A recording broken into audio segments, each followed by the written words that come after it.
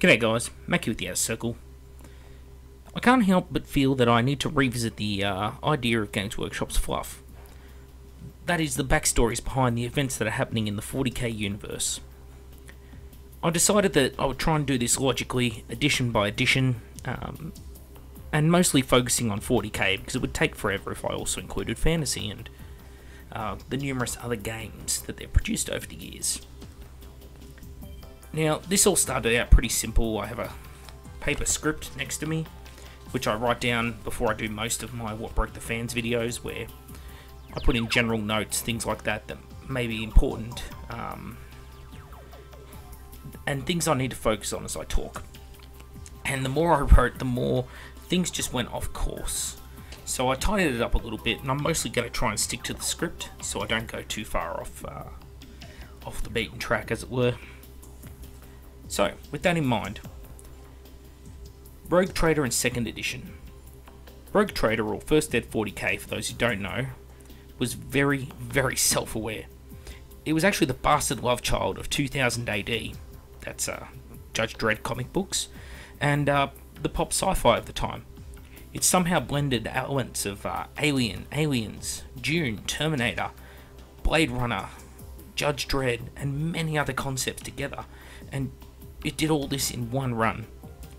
The cover art for some of their box sets was simply amazing and was very tongue in cheek, often homaging uh, film and actors. One image directly ripped off Pacino from Scarface, the classic say hello to my little friend scene. This trend continued into second edition, but second edition started to take itself a little bit more seriously background was fleshed out, factions started to develop very distinct identities, and the tone started to darken. A lot of the really colourful paint schemes that you saw from first edition, they started to disappear. Things like the old Rainbow Warriors, they went the way of the Squats, and uh, Space Marines themselves became superhumans. Weapons got assigned to specific factions um, and specific races. You see, back in first ed, technically you could have like shuriken catapults on space marines and some other weird shit, las guns. But yeah, all of that sort of got codified and very much the tone for 40k got set then and there. Third edition. Third edition was where things got pretty serious. The fluff actually became cemented, the entire codex range was rewritten specifically for that edition. Right? Many of you know that with 8th edition coming, the entire range of current codexes and army books is becoming invalidated. Told you so. Um, and that happened in 3rd edition. Everything that had come before uh, was basically scrapped and started over. Not the fluff as much as just the factions themselves, because being a very different game to third uh, to second edition, the third edition codexes had to be written for that edition. New factions were included, and many existing factions were finally fully fleshed out. Some of these factions included the Tyranids, the Dark Eldar, the Necrons, and the Tau, all of which existed in some capacity but were isolated to just a few units, such as Kroot or even just three or four models. Uh, the Necrons only had, I believe, Scarabs, Warriors, Destroyers, Immortals, and the Necron Lord uh, in second edition. And by the end of third edition, they had a fully fleshed out codex. The fluff at this time was very, very dark. Um, everything focused on the Imperium teetering on the edge of a knife, and most races were on their own brink of extinction at the hands of any number of nameless terrors. This was the time where Chaos and Tyranids were certain to wipe the galaxy, and over the edition, this was really, really rammed home. At the same time as second and third edition was happening, a little game called Necromunda came along. This is a spiritual successor to uh, both Laserburn and Confrontation, which were earlier skirmish games that Games Workshop did. It was a game based around unique and interesting drug gangs warring in the underhive of a hive called Necromunda. This is incredibly close to the tone of Rogue Trader, um, being very self referential, very self aware, um, had its own unique humour style, and it's worth mentioning here because it was one of the last times where the 40k universe was treated with some levity. If you want to know what it was like, look at Robocop, the original 87 Robocop, and that'll give you some kind of an idea. in 4th edition, the edition ended up in a strange place. Unlike 3rd edition, where every codex was rebuilt from the ground up, many of the 4th edition codexes simply carried over. Chaos started out supreme thanks to the vaunted 3.5 codex, and there was a worldwide campaign based around the 13th Black Crusade. This campaign was the defining event of the edition, with the galaxy beginning to fall. Shit was getting real. All of a sudden, it stopped. The dark stopped. Some hope started to creep back into the 4th edition codexes. Instead of a doomed to fall mentality, there was a resigned stalemate. 4th edition also marked the beginning of power creep in 40k, but that's another story for another day. You see, 4th edition, unlike 3rd edition, was the first uh, edition to really carry over the existing books. This was when Games Workshop really had to sort of focus on making FAQs, and a lot of the books started to creep away from one another. Um, certain books, Necrons, uh, Dark Eldar, things like that, they became limbo books. They just didn't get touched in the edition. The developers just went good enough and kept them as they were. This is important later when you come back to them. See, because the next thing that happened is 5th edition. The Imperium started to take the fight back to the enemy in this edition. In codex after Marine codex, they kicked ass left and right, flawlessly beating all their enemies. And then, at the end of every book, we'd be told, Oh, oh no, but the Imperium is just so weak compared to their enemies. That's why we just told you about the Marines just kicking untold ass for 40 pages and never losing a battle. You see, somehow you're meant to buy the Grimdark. Sure. At the same time, you've got codexes like Tyranids. They went from being the scariest, most HR Gigery swarm of endless enemies destined to conquer the galaxy to just a beating stick. Every conflict they came into, they'd lose. They not only lost, but they lost in their own fucking book. And then, just like Marines, they had a token sentence at the end of the book like, Oh, but there's always more. Like somehow that makes up for all the atrocious fluff in the book. Many at the time felt that the game was in a solid place, but with Draigo's tale of bullshit, the Necrons, the Wolfy Wolves, the edition wasn't the finest in fluff. If you notice that the fluff was degrading in 5th edition, you'd also notice that the novels were changing in tone. The Horus Heresy novel series was taking a very serious look at things, whilst the 40k novels mm, varied on an individual basis. And at this point in time, oh, along came 6th edition. And two weeks into 6th edition, two things happened. The first was the 6th edition Chaos Codex, the first codex of the edition, and the second thing was the Horus Heresy series from Forge World. Now, two approaches were taken here. The Chaos Codex tried to be a more serious book, setting what we hoped would be the tone for 6th edition. The Dark Angels followed soon after, and they were pretty much the same style. Things looked promising at this point. Sadly, Codex Tau followed this, and it was a grim affair. You see, the Tau are a very young faction. That's their fluff, and it's kind of true on the tabletop. I mean, they've been around for nearly 20 years, but we'll call it true. Now, the fluff is progressing at a rate of knots. The ethereal caste are becoming communist dictators using population control and mind control agents to run their society. Oh, spoiler warning. Um, but all this has done is made one of the only hopeful bright sparks in the setting into yet another grim dour faction. It makes them more like their contemporaries. And it's more insulting because considering that the events of 40k aren't taking place over a huge long period of time, relatively speaking, but over the closing years of the 41st millennium, vast fluff changes like this shouldn't be occurring. Now, looking back to the Horus Heresy that I mentioned earlier, at the same time as 40k is starting to get a bit of a clusterfuck, the Horus Heresy is playing it straight. It reads more like a history book, like the modern day Lord of the Rings, the appendices of it. The factions are treated equally. Well, mostly. With attention equally divided, and their goals make sense. This is further supported by the most high quality uh, book series that Games Workshop has, the Horus Heresy series. Arguments can be made for things like Gotrek and Felix, but I'm a Horus Heresy man. Now, when I say attention was equally divided and their goals make sense, this is because every single legion is enjoyable to some degree, right?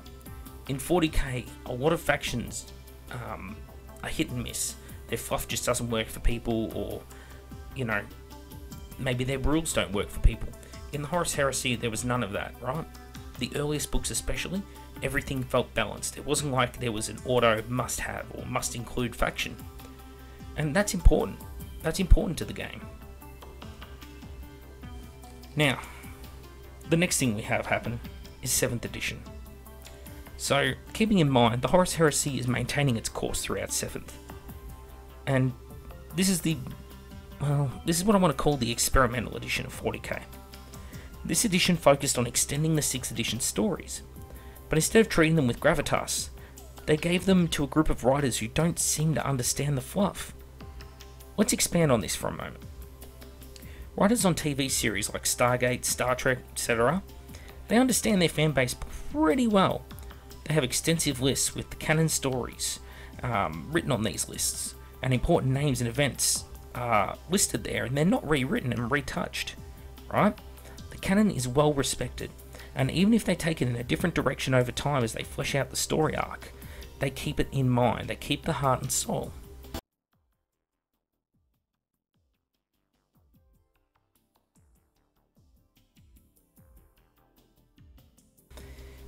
Let's look at how 40k does it now.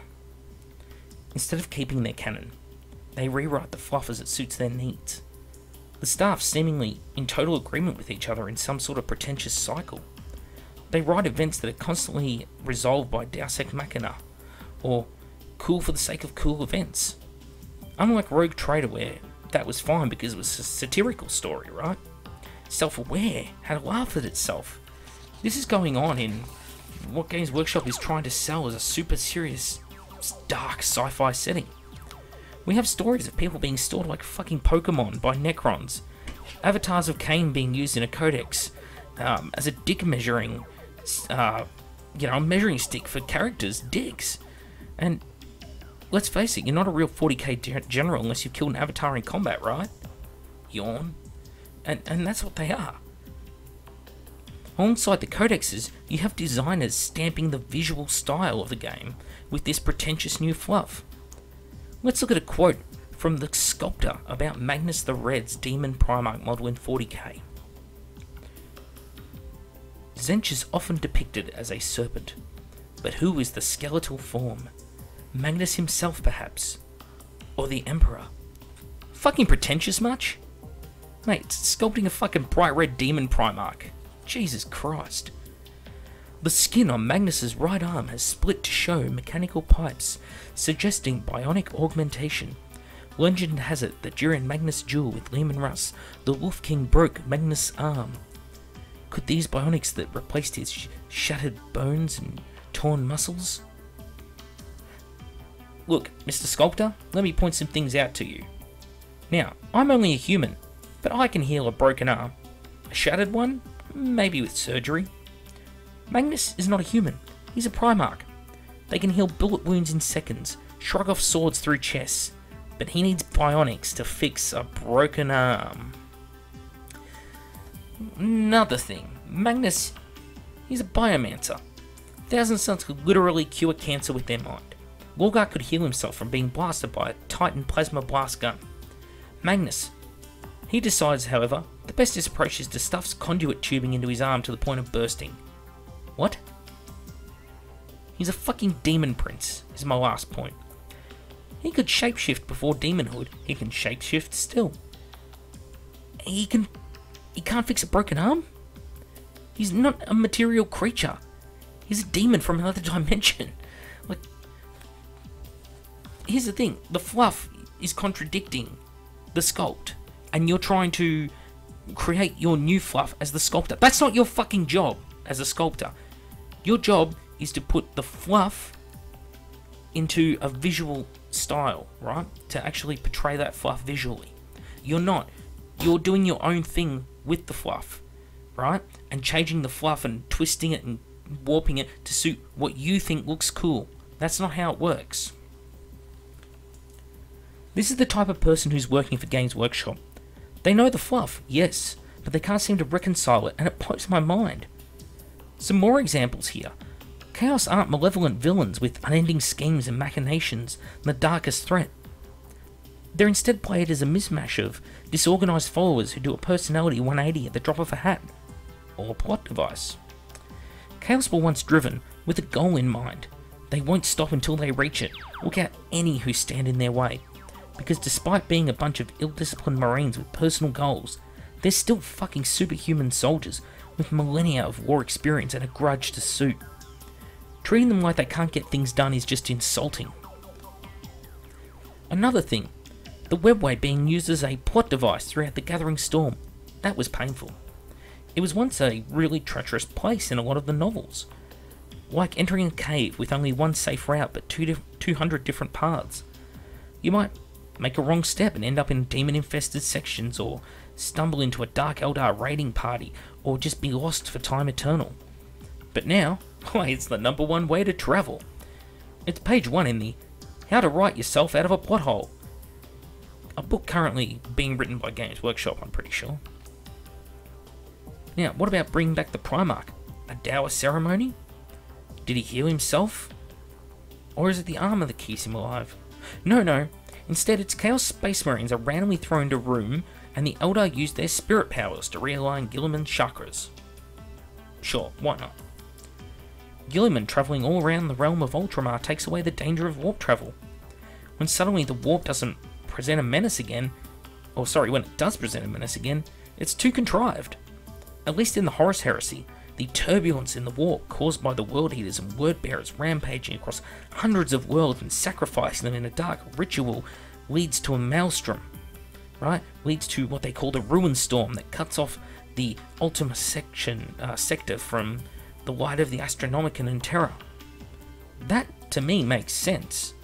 But in Gathering Storm, oh no, warp storms just happen on a chaotic whim because reality can only take so much. The fluff has reached a stage where people are eye rolling.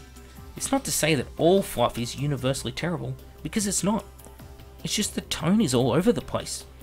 We can easily buy the events of the Horus Heresy, uh, except maybe the whole Perpetual Cabal story arc, that's just piss. But the Primarchs, they're Marines. They seem real. They have fears, they have doubts, unique personalities. In 40k, characters seem to have abrupt personality changes as the story dictates. Instead of one event logically leading to another, it's like there's a mandated requirement for X amount of cool things in happening involving Y models that have to happen on the way. This is coupled with a general trend towards many miniatures being more cartoonish in their design aesthetics, because what happens in one affects the other. Here is where we get to the point of all this, and I am sorry it's taken so long. I did warn you that this would get out of hand. You see, the tone in 40k is all over the place right now, with fluff being full of oxymorons. On the one hand, there's the darkness of chaos waiting to overwhelm the galaxy.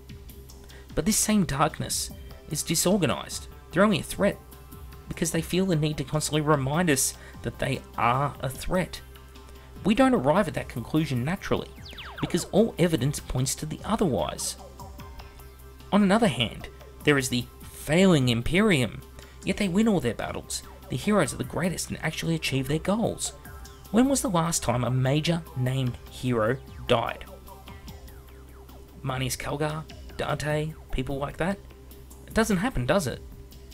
It's at the point where you can assume that one of those named characters, if they're involved, then it's probably going to work out alright for the Imperium in the end. There needs to be some kind of campaign map shown throughout 40k perhaps showing the inroads cut into the Imperium by Xeno and Chaos. Like a World War I documentary, where you can see the Germans swing through Belgium as they implement the Schlieffen plan. When we hear the Black Templars were wiped out in Cadia, we might almost say, oh no! But we know they're a massive crusading chapter spread around the stars and that, again, none of their named characters died. So really, their involvement led to nothing. I want to point out though, I started writing my notes for this bit I just went through about the map and, you know, inroads cut into the Imperium by Chaos, and I did that Wednesday last week. What happened on the weekend though was that this very thing kind of happened. They released a map for seventh, uh, sorry, eighth edition 40k, which shows a map uh, with the events, the changing landscape of the galaxy on it. And although not perfect, hey, it was something I asked for, and I feel the need that as I make this very video to point that out. Now, on a third, and this time chord hand, the Tyranids, as yet have failed to show up. When they do, every time, some world we're told is very important gets eaten. But then, in a predictable pattern, they rock up on a named planet, fuck it over, but ultimately lose, right? Our heroes are left standing around after the battle, lamenting in a very pseudo intellectual way We've won, but at what cost? Like somehow we're meant to be on the edge of our seats, like it hasn't happened six fucking times already. Free advice for the future, G Dubs. Next time, have the Tyranids make a territorial gain, and don't wipe them out. At least let it go over a campaign series. Have them building up their forces, readying for the major Zerg rush, with the Imperials trying to hold back Chaos desperately on one side of the galaxy, but knowing they have to deal with the looming threat on the other, and knowing that they can't win. On the last of my Vishnu like hands, you have the Alliance Autism Spectrum. Alliances come and go on a whim. You have the Dark Eldar being BFFs with the Eldar. Why? Sure, they're the same species, but look at our own planet, Earth. Plenty of times the same species here won't work together to fight mutual enemies. Most creatures are selfish, self preservation's in mind. I'm fine with them occasionally working together, but they do it a little bit too easily. It's too contrived in these books. Being 100% allies doesn't work for me. They really need to focus on them as just a side note in stories, keeping an eye on each other the whole fucking time. The alliance system in both the actual tabletop and in the books, it's problematic. It's just the fluff swings violently in either direction like it's bipolar constantly. The tone of 40k is clearly a clusterfuck. It's not grimdark anymore. And it's, no matter what some people say, it is not having a laugh at, at itself. It's not self aware. It's trying to be taken very, very seriously, right? But it's being handled by incompetent writers. The last laugh sailed when the Dark Eldar character uh, Kruella the Vile was deleted. Whoever the people are in charge of these books now, and who knows since they omit writers' names, they need to sit down and actually set out a more even tone across the board. The Deus Ex Machina moments are cringeworthy, the plot contrivances are frustrating, the use of most factions as punching bags for the Imperium is positively laughable. If you want to present 40k as serious sci fi, that's fine, but you need to dial back the Mary Sue aspects of the game and actually have someone who isn't a Space Marine fanboy who says, How cool is this idea? I'll just add it to the story that doesn't suit it. You need to get that, rid of that guy, because they're working on every book right now. My number one suggestion here is to have a fluff master like Alan Bligh in charge of the overall books. The Horus Heresy game books from Forge World are very consistent, and for this reason, they have one person overseeing it all. On top of this, if I learned anything from the Games Workshop writers I've spoken with lately, and I've spoken with a few actually, they seem to blindly support one another and back each other 110%. And that's very funny because often they'll do it at the expense of fluff they themselves might have written. Andy Hoare, who wrote the original uh, fluff for the Death Watch, said he liked what uh, Phil Kelly did with it. And when we questioned him on why the changes were necessary, he had nothing to say. He just said, I like what he's done with it. Right? He didn't say that it needed to be done, or that it wasn't changed for the sake of change. He said he just didn't mind the fluff. You've got to be critical these writers are living in they're living in an echo chamber where one of them turns the other and he could have written anything no matter how crap and everyone else just turns around and says yeah that's great that's awesome dude and that's why our fluff is all over the shop why the tone is all over the shop one last little note at the end here i just wanted to say which writers i'm sick of writing codexes and who have to stop writing codexes and wasting game resources Sadly, it's pretty much all of them. Phil Kelly's best days were in 4th edition. He's a shameless Eldar fanboy who ruins other factions. Robin Cruddas is a treadhead who only seems to understand Imperial factions, and even then, only certain ones. Matt Ward is back. Sure. He needs to be kept away from fluff and stories entirely, and he is only allowed to write rules if he's writing the entire system. Because, in his defense, His codexes are fantastically balanced against one another and internally, but are incredibly unbalanced against anything he didn't write. Jeremy Vetock, on the other hand, he seems to be flying suspiciously under the radar, so I'll give him a pass. I'm Macca with the Outer Circle. Please leave your thoughts and comments below.